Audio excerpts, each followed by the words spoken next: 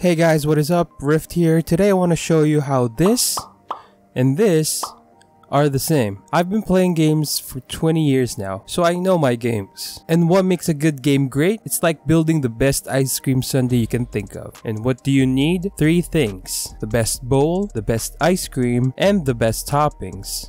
What does that mean for gaming? Three words. First word is foundation. Imagine building the best ice cream sundae you can think of, with all of your favorite flavors, toppings, and everything. Aside from the ice cream and the toppings, you'll need something to put your ice cream on. Are you gonna build the best ice cream sundae on the palm of your hand? That's gross. Who would do that? You can't build the best ice cream in the palm of your hands or in a small, teeny tiny bowl. If we're talking about the best ice cream sundae, you'll need the best ice cream to carry and build your sundae on. That's the foundation, the ice cream bowl that'll hold your glorious ice cream sundae. This is the same in gaming. Perfect example will be our favorite bald guy. Not that bald guy, not that one either, but this guy, Kratos. From this to this, and now this. Get in the boat. Boy. Boy. Boy. Boy. I told you, boy. Boy. Boy. No place for a boy.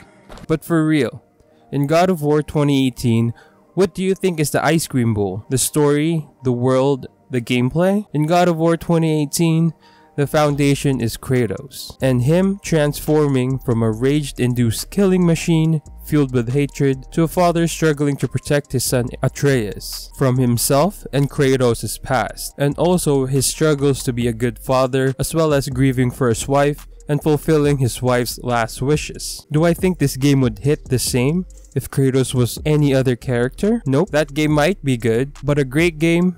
I don't think so. Next is structure, the ice cream itself. How can you build the best ice cream sundae? You use the best flavors, of course. Uh.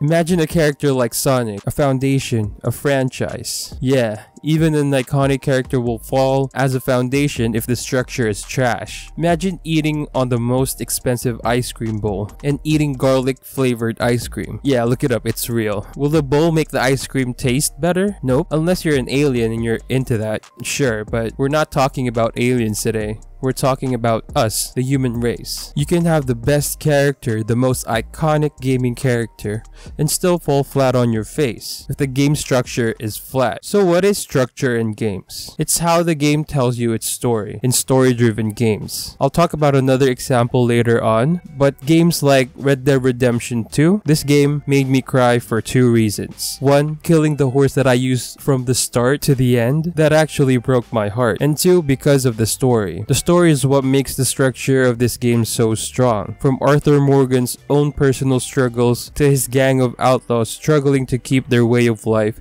in an ever-changing society. Rockstar to me is one of the best storytellers in gaming. The way they portray Arthur Morgan's struggles as the right-hand man of Dutch who is so loyal to a point where he follows Dutch's every word, but at the same time, Arthur will talk behind Dutch's back, questioning his decisions. Arthur Morgan fights to keep his gang of outlaws together, but as his health deteriorates, his family around him start falling apart. As I said, this game made me very emotional. One reason is because they killed my horse. The other is seeing Arthur struggle to keep his family together, and him having to sacrifice his own life for John Marston, because at the core of everyone in the gang of outlaws, they all want what John had a family, and a future. The other example of great structure is with fighting games. To me, the foundation of a great fighting game is the challenge and mechanics. The fluid motions, the clean combos, and pushing your chosen character and yourself to the limits of the game and its challenges. Games like Street Fighter, Smash Bros, Mortal Kombat, all of these games have great clean mechanics. But the structure of these games lies with its characters, its setting, pulling off that combo you practice for hours, and the satisfying victories you achieve while playing fighting games. So just a quick reminder, if you're entertained and like the video, don't forget to drop a like on the video and subscribe. I'm trying to evolve my content and make them more entertaining, so a like and subscription would really help me a lot. Thank you. And also help me reach 20 subs. That would be really cool. The last word is content. The sprinkles, the cherry on top, that caramel syrup, and whipped cream. You can't have an ice cream sundae without toppings. The foundation of Doom Eternal is the fast-paced, high-octane gameplay with satisfying gun mechanics. The structure is the world and story of our silent protagonist, Doom Guy. And the content? Well, let me just show you.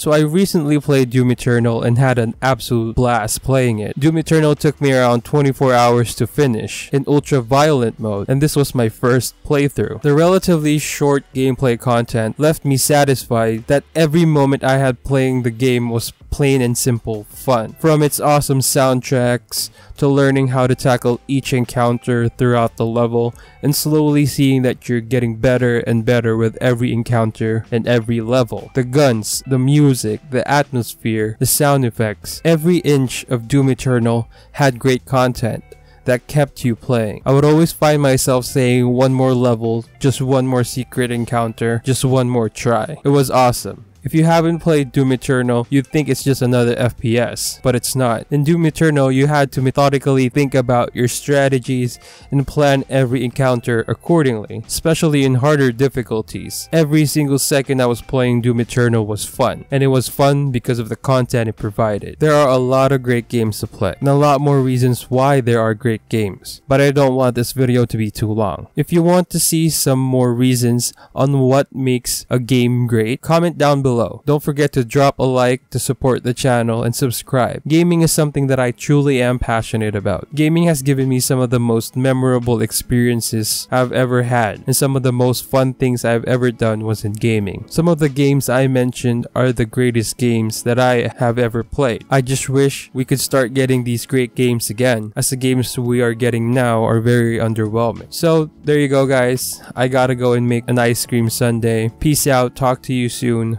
Much love and stay safe out there.